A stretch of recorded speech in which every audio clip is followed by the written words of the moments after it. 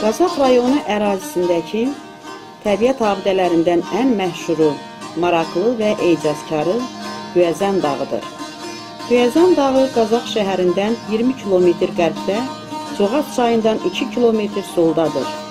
Heç bir dağa, təpəyə bitişik deyil, təkdir.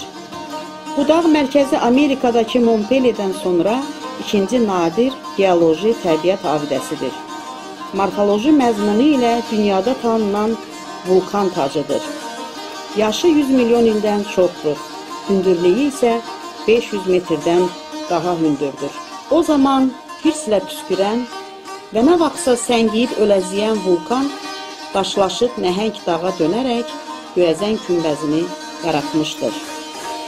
Göyəzən dağının ətəyində iri və qədim yaşayış yerinin 7 bürçülü qalanın qalıqları var.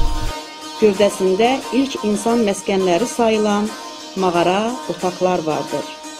Zirvəsi nisbətən yastıdır.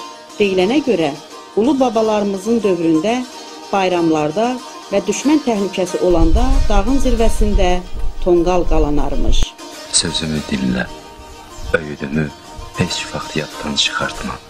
Nə qədər güclü olsan da onu bil ki, tək əldən səs çıxmaz. El gücü sel gücüdür. Xoş gündə bir ton qalqalayırsan. Elimizə, obamıza şad xəbəri çatdırırsan. Dar gündə iki ton qalqala. Hara yelə, Oğuz igidlərini köməyə çağır. Bir neçə kəlmə də dağın adı, daha doğrusu adının açması barədə.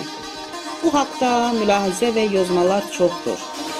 Lakin ən ağlabatan izahı xalq yazıçısı İsmail Şıxlıya və Qazaxlı şair Eldar Nəsibliyə məxsusdur.